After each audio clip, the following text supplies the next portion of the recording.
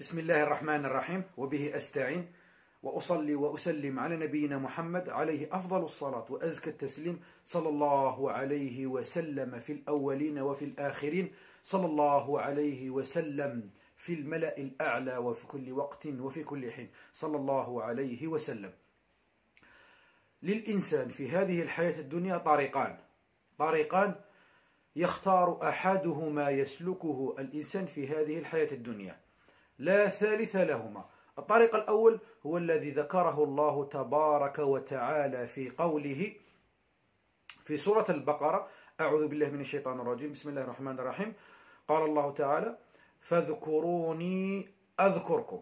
قال الله تبارك وتعالى فاذكروني أذكركم. قال النبي صلى الله عليه وسلم قال الله تعالى في الحديث القدسي يا ابن آدم ما ذكرتني في ملأ ذكرتك في ملأ أفضل منه. من ذكر الله في هذه الحياة الدنيا إلا وذكره الله تبارك وتعالى في السماء وذكر الله تبارك وتعالى لك هو بالحفظ والتأييد والرحمة والتوفيق وزيادة الرزق والبركة في البدن والبركة في الولد والبركة في الأهل والبيت والحفظ وكل شيء وكل في كل شيء فيه خير. هذا هو ذكر الله لك.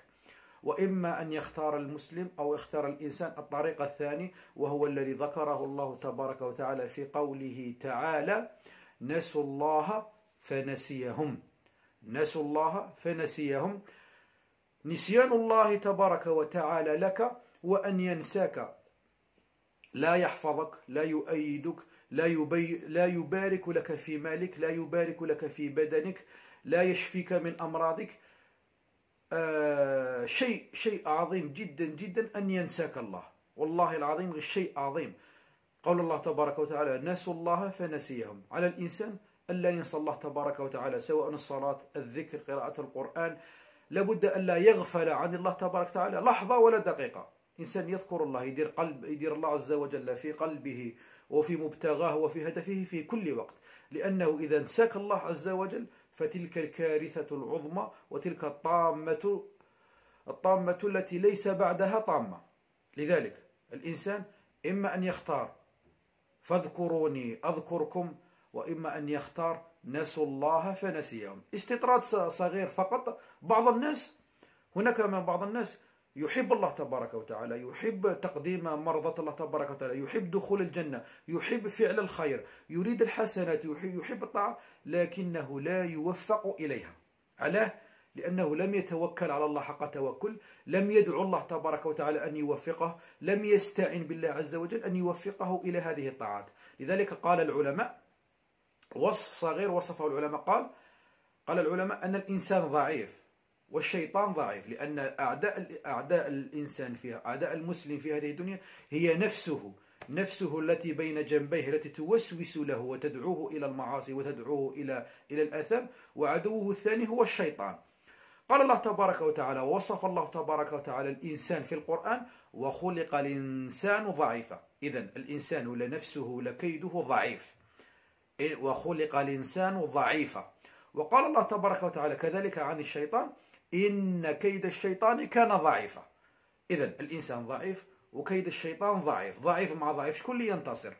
مثل ذلك العلماء قال عندنا ملاكم. دخل ملاكمان إلى الحلبة. ملاكم ضعيف وملاكم ضعيف. شكون اللي ينتصر؟ لن ينتصر أحدهما على الثاني إلا إذا استعان أحدهما بقوة خارجية.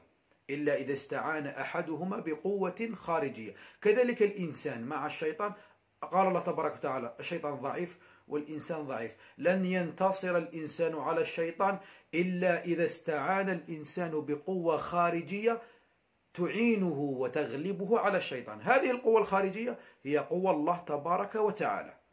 إذا استعنت بالله على الشيطان وعلى نفسك فستنتصر وستغلبهما وستكون من المفلحين. لذلك على الإنسان إذا أراد الخير إذا أراد دخول الجنة إذا أراد الطاعة إذا أراد المسارعة إلى الخيرات لابد أن يدعو الله تبارك وتعالى ويستعين بالله حتى يوفقه الله تبارك وتعالى. قال الله تبارك وتعالى على لسان يوسف في سورة يوسف وما توفيقي إلا بالله. التوفيق كله من الله تبارك وتعالى. كذلك قال الله تبارك وتعالى في في سورة الكهف آه، قال آه، في سورة الكهف آه، قطرة الآية راحت لي. سد راحت لي الآية. المهم التوفيق التوفيق كله بالله. وكما قال كما قال كان يقول النبي صلى الله عليه وسلم للصحابة استعن بالله. استعن بالله في كل أمر. إذا أردت الخير والمسابقة إلى الخيرات عليك أن تستعين بالله. لماذا؟ لأن التوفيق كله من الله تبارك وتعالى. إذا لم تسأل الله التوفيق ولم تستعين بالله فلن تتغلب لا على نفسك ولا على الشيطان. الآية التي أردت ذكرها في سورة الكهف آه، يقول الله تبارك وتعالى في سورة الكهف آه، قال آه، صبر لا تبخذني بما صح. كان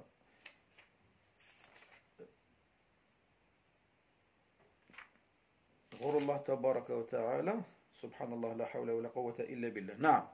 يقول الله تبارك في سورة الكهف قال ما مكني فيه ربي خير. الآية تقول قالوا يا ذا القرنين إن ياجوج وماجوج مفسدون في الأرض فهل نجعل لك خرجا على أن تجعل بيننا وبينهم سدا؟ أرادوا بناء السد. ماذا قال؟ قال ما مكني فيه ربي خير. طلب التمكين والقوة والاستعانة من الله.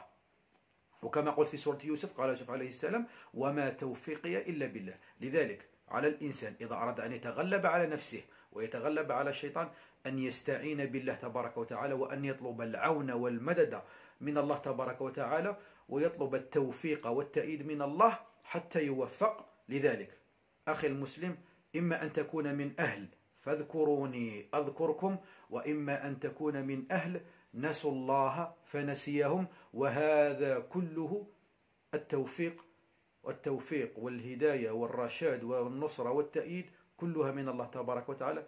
استعن بالله واطلب التوفيق والتأييد من الله فسيوفقك الله تبارك وتعالى. أسأل الله عز وجل التوفيق لي ولكم ولسائر المسلمين والمسلمات. بارك الله فيكم في الأخير. لا تبخلوا علينا بإعجاب للفيديو. كذلك الاشتراك في القناة اشتراككم في القناة يعطينا دعم ويعطينا تشجيع حتى نستمر في نشر الخير. لنا ولكم إن شاء الله عز وجل. سبحانك اللهم وبحمدك أشهد أن لا إله إلا أنت أستغفرك ربي وأتوب إليك والسلام عليكم ورحمة الله.